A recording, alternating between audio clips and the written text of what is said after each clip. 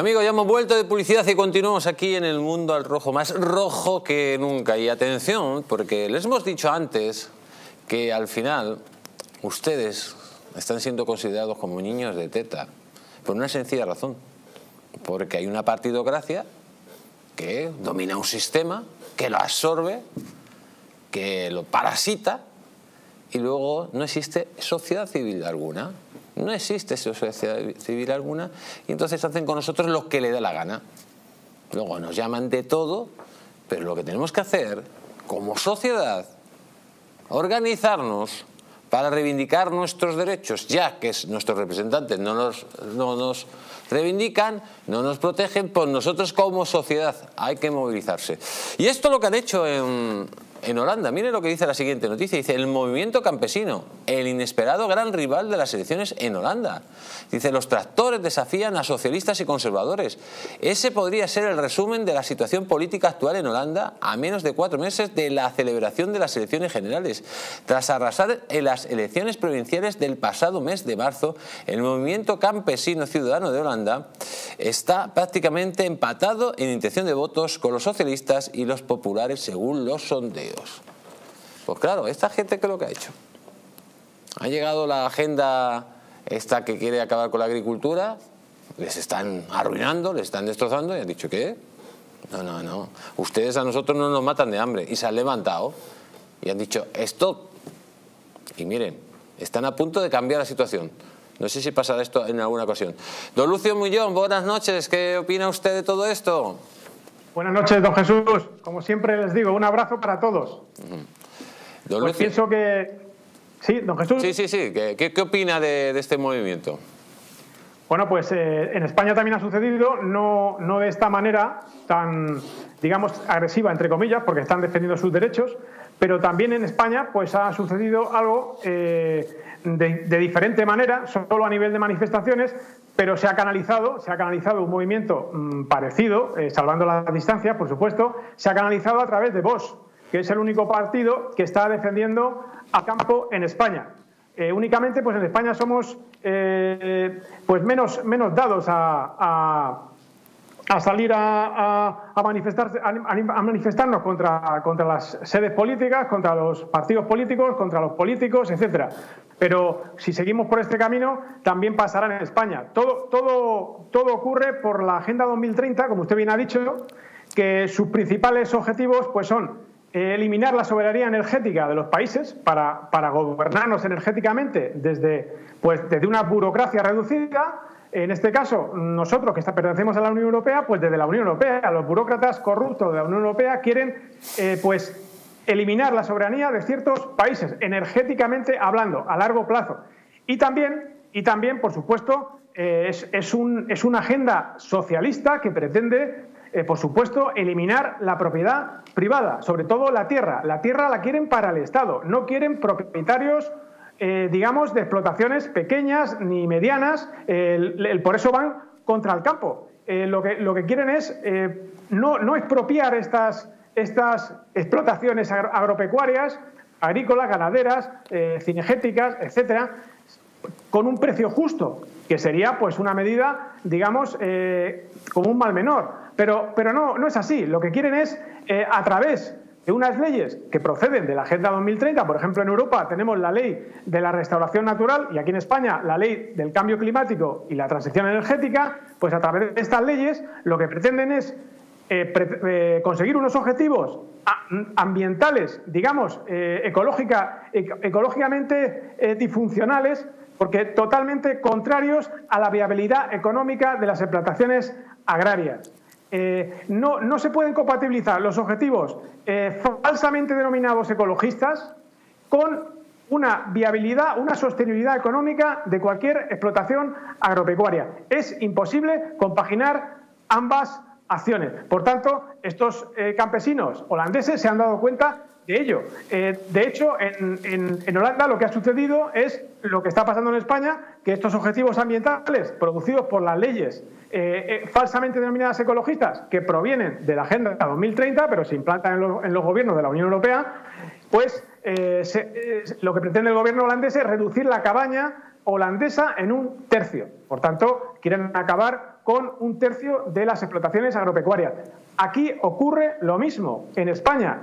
Eh, aquí tenemos dos problemas, los legales, que los acabo de referenciar, provenientes de leyes eh, que proceden a su vez de la Agenda 2030 y también, y también el tema, el asunto económico, los impuestos a estas explotaciones y, por supuesto, el encarecimiento de, los, eh, de las materias primas, de las, de, del encarecimiento de, los costes de explotación, básicamente, y, de la energía, del gasoil, etcétera. Entre los problemas económicos y los problemas, y por supuesto, los impuestos de Sánchez, que son confiscatorios totalmente. Entre estos problemas económicos y estos problemas político-sociales derivados de la Agenda 2030, pues evidentemente lo que se pretende es eh, y, bueno, y se está produciendo algo muy interesante, que es, mientras en España, por ejemplo, y en la Unión Europea se reducen las emisiones de CO2, se reduce la, emisión de, nitrógeno procedente, procedente, de los fertilizantes, es decir, la, utilización de fertilizantes que son necesarios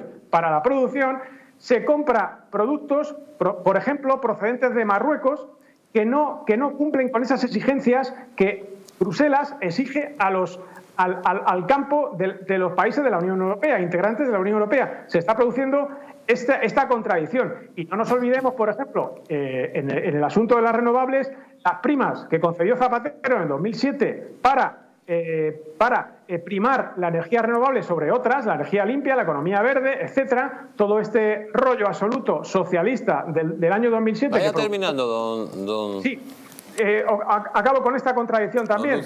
Esto, estas primas a, la energía renovable, como eran absolutamente insostenibles económicamente, se produjo una reducción de estas primas. Después se produjo una eh, pues asfixia fiscal a, las energías renovables. Al final eh, se produjo una, eh, pues, mm, una serie de impagos por parte del Gobierno a estas, a estas empresas y a estos particulares que tenían derecho a estas primas renovables y lo que se ha producido ahora es pues que el gobierno español debe 1.200 millones de euros a estos afectados por el impago de primas renovables eh, y también unos 250 millones de euros en costes. Estas son las contradicciones que está produciendo la, denominada economía verde. Pero eh, lo que está claro es que el campo español, el campo holandés y el campo de los países integrantes de la Unión Europea está en serio peligro de extinción, don Jesús. Pues don Lucio Muñoz, muchísimas gracias por haber estado aquí en el Mundo Rojo. Recibo un fuerte abrazo. Un fuerte abrazo para todos ustedes y en especial para usted, don Jesús. Buenas noches. Muchas gracias. Eh, señor Fanego, ¿qué opina usted? Que me iba a comprar un tractor. Un tractor. ¿Pero qué opina de este movimiento que han dicho... Hombre, lo estoy diciendo jocoso, pero... No, pero las medidas, las medidas que ha tomado el gobierno de Holanda han sido contra ello y han dicho nos vamos a levantar y ahora se, se va a convertir la primera fuerza política de Holanda. Pero mire usted, ojalá tuviéramos nosotros ese espíritu, si es que antes lo estaba refiriendo a la compañera, es decir, que, que ojalá tuviéramos esa capacidad nosotros de movilizarnos mínimamente, mínimamente. No lo hemos hecho nunca y no lo ha hecho nunca nadie. Es decir, salvo que tú lógicamente caigas en un, digo, este, un gobierno eh, popular o liberal, es decir, porque nunca se ha hecho, en España no hay movilización por parte de la derecha ni la va a haber nunca. Pero en este caso tienen una, justa reivindicación, es decir, les están asfixiando porque no interesa. Es decir, si cualquier eh, poder burocrático eh, internacional estuviera interesado en fomentar el campo o las materias primas, jamás que son el, el, nivel más importante y más exigente para la alimentación mundial, es decir, que es que estamos tocando temas que ya rayan lo, rayable. Pero paradójico, es paradójico que quien esté detrás de esa Agenda 2030, como decía el señor Lucio, pues sean los gobiernos que casualmente menos cumplen con esa normativa. Es decir, adiós Gorgante con el mazo dando, pero, pero, pero no solo España, sino el resto de demás. Es decir, que no deja de ser una, una situación que económicamente interesa a unos cuantos, que la global, la global situación que finalmente quieren ellos es el control de las materias necesarias para poder tener controlados a todos los países, incluidos por supuesto lo de la Unión Europea, que cada cuenta menos y cada tiene menos importancia bueno, que ya se ve que van contra la soberanía alimentaria porque es la mejor manera de tener a los países, em, digamos, eh, por eso esclavizados, porque, porque tenemos que comer y en el momento en el que falle aquí y falle lo que nos quieren traer de fuera, pues ya no somos soberanos. Entonces, eh, están acabando con el campo y es, está muy bien lo que están haciendo los, los holandeses, ojalá lo hiciera más ojalá lo hicieran más, más sociedades civiles, porque ha llegado un momento en el que los partidos ya no están respondiendo a los ciudadanos ni siquiera a los intereses de sus propios países, sino que están respondiendo a otros amos, a otros a, otros intereses que desde luego no son los de los ciudadanos que les han votado. Hemos llegado a un punto en el que es lógico que, la sociedad civil, que teóricamente se tenía que ver respaldada y se tenía que ver representada por los políticos a los que ha votado, que en este caso en España nos estamos preguntando si realmente hemos votado a los políticos eh, tal y como nos van a representar, y ya hemos hablado del tema de las elecciones, pues, pues en esta situación en la que uno no se encuentra representado, pues me parece lo más razonable. Es que creo que tiene que haber una, renovación de la sociedad civil eh, metiéndose en la política porque en este momento ahora los políticos no nos representan. Pues amigos, los políticos no nos representan, pero miren cómo van a, en contra de un político al cual pues le dieron un pucherazo, pero vamos, en toda la frente, pum. Dijeron al señor Trump, toma, pucherazo en la frente. Dicen, Trump suma y sigue, y ahora está imputado por intentar manipular las elecciones de 2020. ¿Cómo es posible, amigos, que en Estados Unidos se apagaron, se apagó la luz, las máquinas contaban lo que daba la gana, llegaron votos por correo que ya sabemos lo que pasó. Eh, votaban los muertos, votaban eh, de un lado de un estado, votaban en otro lado. Maricopa se ha demostrado. Luego, claro, cuando se iba a hacer la votación en el Senado, curiosamente se introducen todos con ayuda de la policía en el, en el Capitolio. La policía acompañando a todos sentados al Senado. Bueno, y luego, claro, es un asalto a la democracia. Tenemos al otro lado de Sky a Maybor Petit. Buenas noches, Maybor. No, no le oímos. A ver si los compañeros pueden... A ver, ¿ahora? Ahora sí te escucho. Ahora, perfecto. Maybor, em, tenemos muy poco tiempo. Cuéntanos exactamente qué es lo que ha pasado, porque esto sí que son los pájaros disparando las escopetas en Estados Unidos directamente. Mira, a raíz de lo que ha ocurrido con el hijo del presidente Joe Biden, Hunter Biden, que eh, uno de sus asociados declaró en el Congreso todos los negocios que tenía con China y con otros ah, países que son hostiles a los Estados Unidos, eh, se decía y se informaba que al expresidente Donald Trump lo iban a acusar nuevamente y así ocurrió el día de ayer.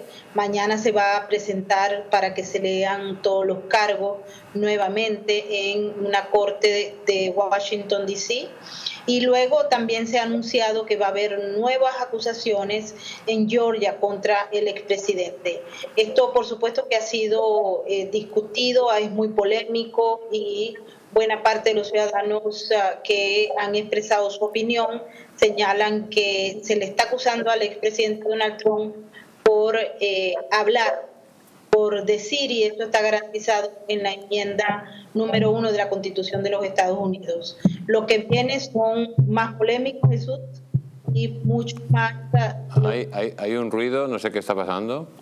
A ver, me por ahora ahora sí creo que tenemos eh, mejor sonido.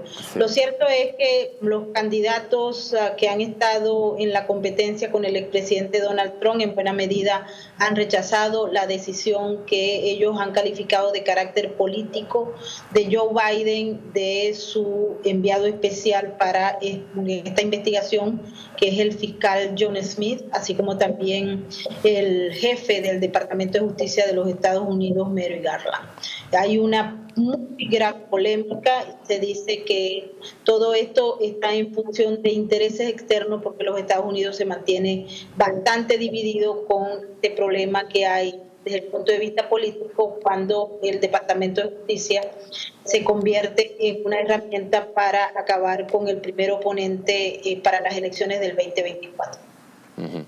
Pues Maybor, eh, seguiremos hablando sobre este tema porque es, indignante que ahora le acusen de manipular las elecciones después de lo que pasó en los Estados Unidos de América. Recibe como siempre un fuerte abrazo y seguiremos hablando del tema. Un gran abrazo, Jesús.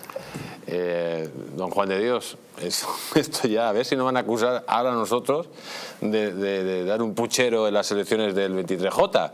Pues un poco lo mismo está pasándole al señor Donald Trump. Después de lo que pasó, que fue vergonzoso, aunque lo taparon todos los medios de comunicación. Y ojo, que el Times confesó, que lo confesó en una portada, tuvimos que hacer todo lo posible para que no ganara este hombre, hasta un puchero, ahora le, le imputan en una auténtica caza de brujas. Bueno, yo, yo, creo que es, desgraciadamente es un movimiento internacional eh, y, unido también a lo que ha comentado antes con el tema de, Holanda. ¿no? Toda la Agenda 2030, es decir, toda esta apisonadora cultural, política, social, económica, que está llevando y tiene una obsesión por la reducción de la población en el mundo, es, es una cosa eh, terrorífica y parece increíble, pero es hacia, hacia donde vamos y ahora les contaré un caso. Lleva también a que todo aquel que se enfrenta a eso, esté en Hungría, esté en Polonia, esté en Estados Unidos, esté en Inglaterra, esté en España, el sistema lo quiere apisonar. Eh, hemos visto hace una semana que ha ganado un pleito una persona pública, porque era un presentador de televisión en Inglaterra, que lo habían expulsado del banco. Alegaban que era por un tema de blanqueo de dinero, demostró que no era un tema de blanqueo de dinero y al final el banco tuvo que confesar que lo habían echado del banco porque sencillamente manifestaba unas opiniones en televisión que no eran las propias de la Agenda 2030.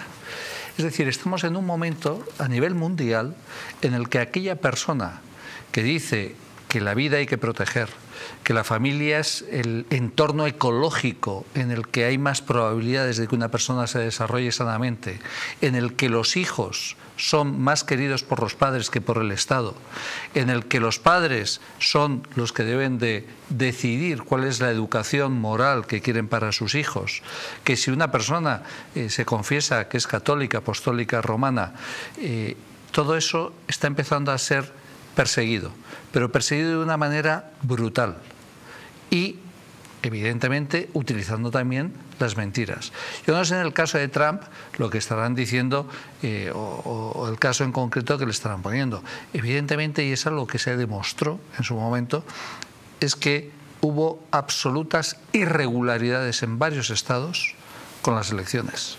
Y eso está demostrado. Está demostrado. Amigos, pero mientras tanto, eh, ante esta situación que estamos viviendo de puchero generalizado, pues yo le voy a recomendar que ahora en agosto nos vayamos a un sitio mágico y nos vayamos al Hotel Las Dunas, un lugar mágico en el corazón de la Costa del Sol, en primera línea del mar, situado en un oasis de armonía y tranquilidad, enfocado en la salud y bienestar de sus huéspedes.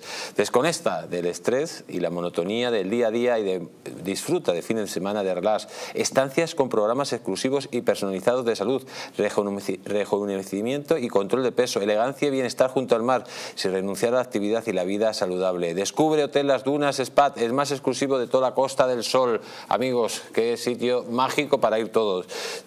señor Fanego, 15, 15, segundos. 15 segundos, porque les deseo unas felices vacaciones estivales a todo el mundo y que si puedo me pagaré, me costaré unos días en el hotel. Eh, Harán descuento, ¿no? A los colaboradores. Sí, sí, por supuesto. A toda la gente que vaya de, parte del Distrito TV tiene un precio especial. Eh, señora Rubio, ¿usted cree que saldrá la verdad algún día y los malos pagarán todo lo que están haciendo? Bueno, pues el día que todos decidamos que nos enfrentamos a los malos, porque una de las cosas que pasa eh, es que utilizan lo contrario.